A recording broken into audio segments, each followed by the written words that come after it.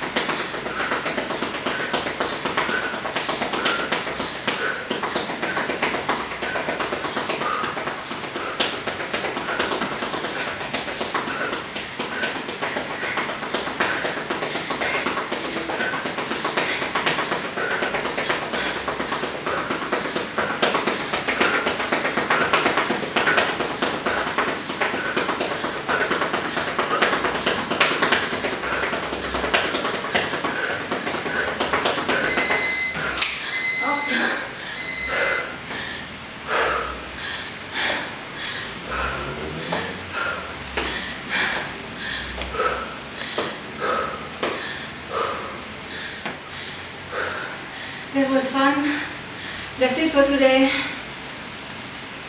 Thank you for watching this video. I hope you like the workout. Remember, Take care of your body. Eat well and exercise regularly. Bye.